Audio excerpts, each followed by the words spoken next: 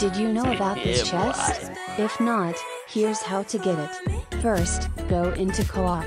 You'll need at least one friend with you to do this. Teleport to this domain. Then, jump onto one of the mushrooms. Have your friend jump onto the other one. There you go, you have a chest.